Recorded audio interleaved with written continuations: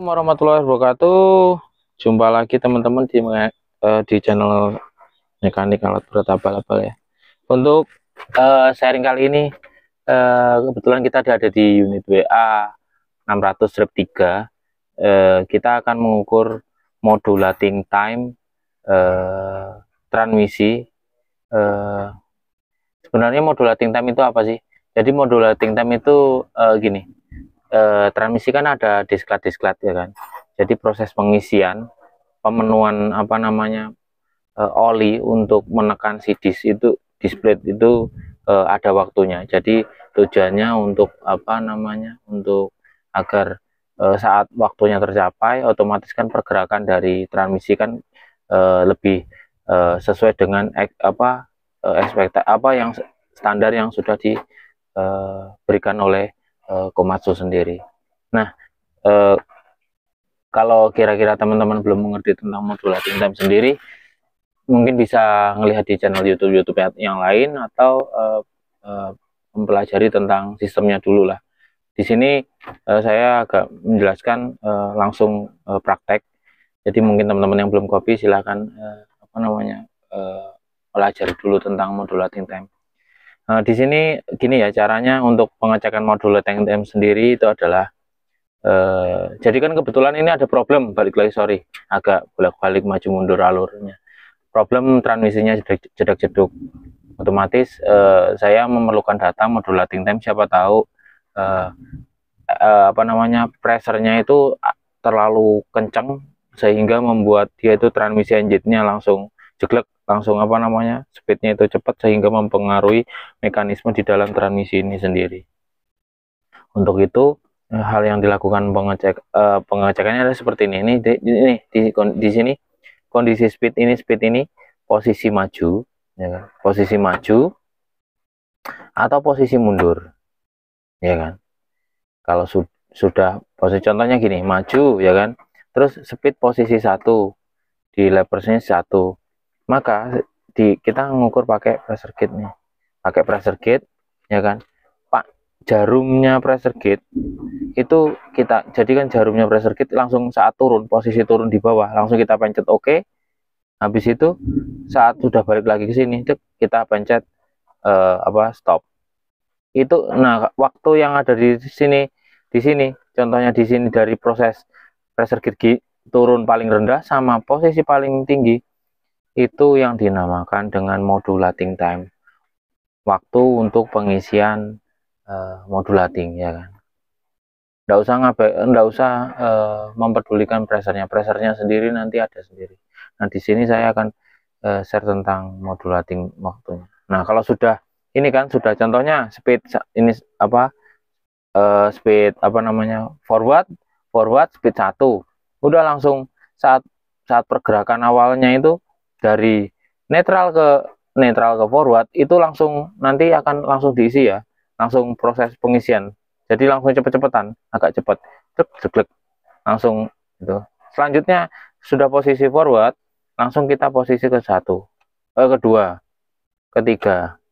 Keempat. Setiap perpindahan itu pasti akan ada proses mulai pengisian. Proses dimulai dari uh, titik terendah di pressure gate sampai titik tertinggi di pressure gauge. Dan itu yang akan di, diukur dengan waktu dan akan dilihat eh, apa namanya disesuaikan dengan standarnya.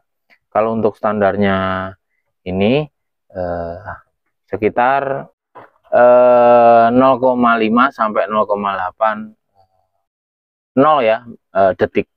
Untuk detailnya akan saya tampilkan standarnya di sebelah kiri ini, ini ya. Oke, mungkin itu caranya. Eh, sedangkan yang ada di apa namanya, yang ada di transmisinya sendiri di, di anu apa namanya di situ letaknya, letaknya di situ modulating time-nya. Modulating time-nya couplernya yang paling bawah ya, kan ada ada empat itu. Couplernya nah sekarang ada di situ tuh. Sudah pressure kit tempelin di situ tuh. Nanti tinggal dibaca. Tapi alangkah lebih baik nanti pakai host ya, pakai host di monitor panel di dekatnya steering jadinya kita bisa ini bisa akurat untuk proses eh, apa mencari atau menentukan waktu modulatingnya sehingga eh, antara operator dan yang memberi waktu timer atau yang timer akurat datanya. Mungkin eh, setelah ini eh, video pengukuran silakan teman-teman lihat jika jika apa namanya teman-teman apa pengen ngerti prosesnya. Tapi untuk untuk caranya kan sudah saya sebutkan di depan ini tadi. Tapi untuk prosesnya silahkan lihat uh, detailnya. Mungkin nggak terlalu jelas ya, ya, karena kan lagi proses pekerjaan. Tapi uh, apa namanya patah-patah, maksudnya patah-patah itu kadang ngambil take, ngambil enggak, kadang enggak. Jadinya silahkan dilihat sendirilah untuk teman-teman ya untuk prakteknya. Oke, untuk sekarang kita akan coba mengukur modulating time yaitu dengan cara di sini nanti proses dari low apa pressure-nya 0 sampai pressure refill lagi itu kita akan hitung hitung lagi. Hitung. Nah, itu yang dinamakan modulating time. Oke. Sekarang kita akan menghitung di sini kan ada uh, clutch forward reverse untuk empat empat ini ya empat empat ini empat speed empat clutch maaf empat clutch oke di sini kita akan mulai pada kondisi low idle aja. Di sini sudah terbaca 31 nah sekarang kita menggunakan stopwatch di mana nanti teman-teman mulai hitung juga di sini ya. Coba satu dua tiga. Ulang. Satu dua tiga. 0,77 hampir 0,8 oke. Lanjut. Bentar bentar bentar.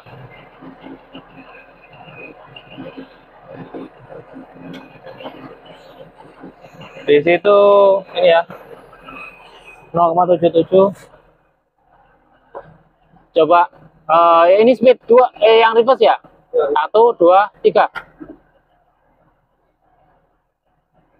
Ulangi satu dua tiga. Ulangi. Satu dua tiga. Ulangi. Satu dua tiga. Emang lambat. Satu koma ini. Satu koma ini. Apa namanya satu koma ini satu koma enam. Ya tulisan satu koma enam. Satu nih satu koma satu. Oke. Lagi. Ulangi. Nomor speed 2 sekarang. Mem memastikan lagi speed 1 coba. Speed 1 1 2 3 iya memang. Sekian. Memang sekian. Memang lambat. Oke yang speed 2 coba. Speed 2 forward. 1 2 3 ulangi. 1 2 3 ulangi. Satu, dua, tiga. 0,8. Pressernya udah turun nih. Aduh, posisiku nggak enak. Sekarang apa itu jatuh? Aduh, aduh, aduh, aduh, aduh, aduh, aduh.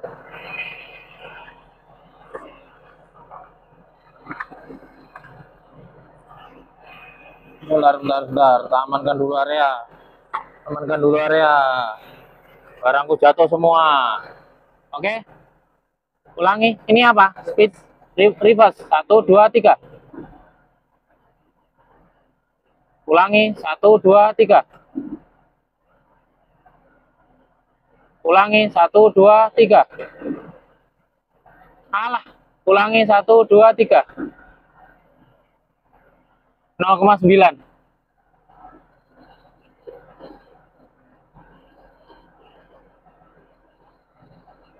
Oke.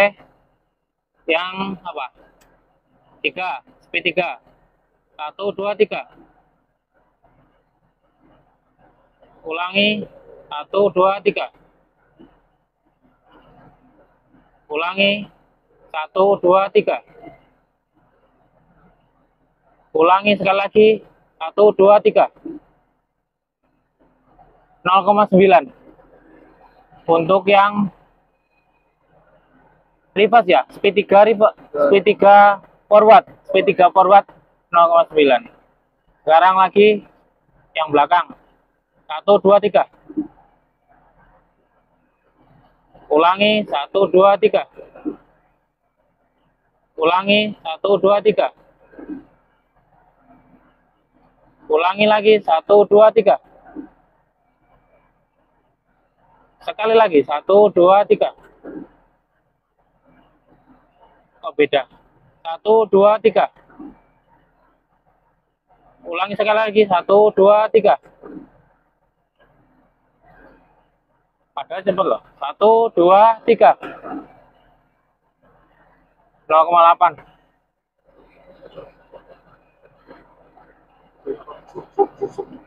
cukup deh lagi yang 4 speed 4 sekarang. 1 2 3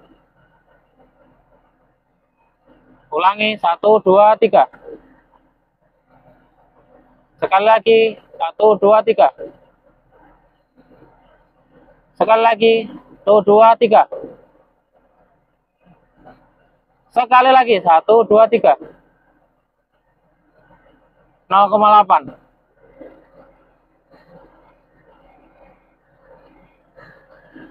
Saat, ulangi satu dua tiga. Eh, enggak enggak maaf, yang reverse reverse reverse empat reverse ya satu dua tiga.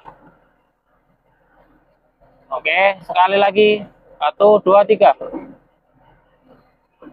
Sekali lagi satu dua tiga. Sekali lagi satu dua tiga.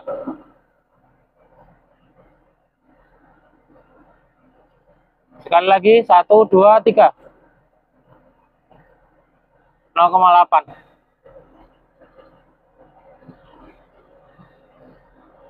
Sudah didapat hasil kan? Dapat hasil, ini hasilnya. Berarti ada yang yang ini ulangi yang reverse yang satu. Reverse satu kok. Hasilnya besar sekali. Satu dua tiga. Ulangi lagi. Satu dua tiga. Lagi sekali lagi. Satu dua loh apa itu oh balik netral nganu ya? Bunyi satu dua tiga satu dua tiga loh satu dua tiga 0,9 0,9 nggak bisa tetap 0,9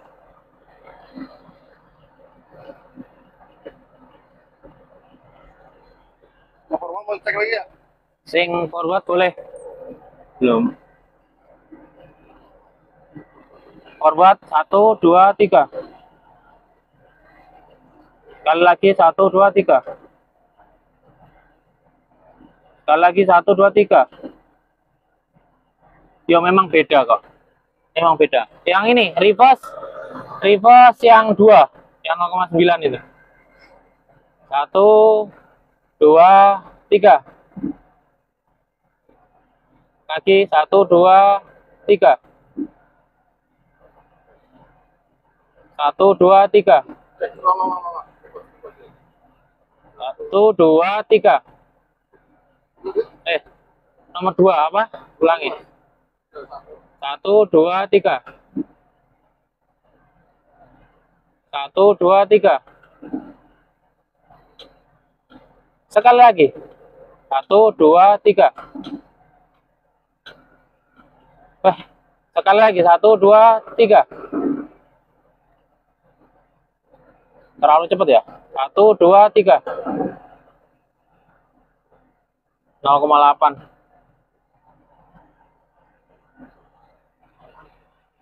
Yang tiga, yang forward.